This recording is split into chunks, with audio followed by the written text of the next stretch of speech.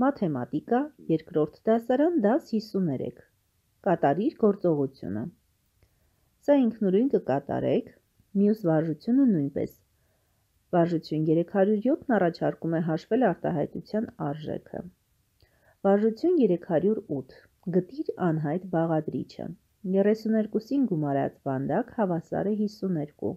Վանդակը հավասար է 52-ից հանած 32։ 26-ին գումարած վանդակ հավասար է 43։ Վանդակը հավասար է 43-ին գումարած 26։ 34-ից հանած վանդակը հավասար է 22։ Վանդակը հավասար է 34-ից հանած 22։ 84-ից հանած վանդակը հավասար է 25։ Վանդակը հավասար է 84-ից հանած 25։ Վանդակին գումարած 71-ը հավասար է 92, վանդակը հավասար է 92-ից հանած 71։ Վանդակին գումարած 24-ը հավասար է 42, վանդակը հավասար է 42-ից հանած 24։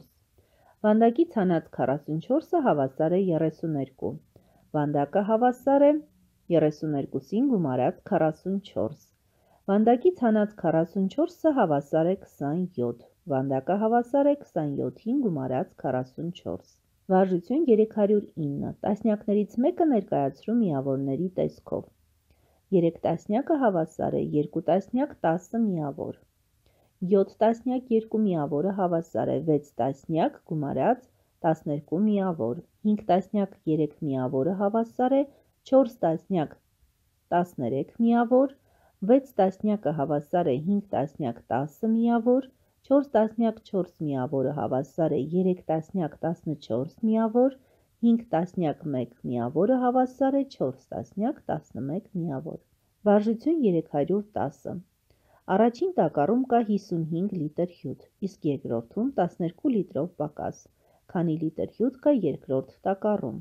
Լուծում 55-ից հանած 12։ Առաջին տակառում կա 55 լիտր հյութ, իսկ երկրորդում 12 լիտրով պակաս քանի լիտր հյութ կա երկու տակառներում միասին։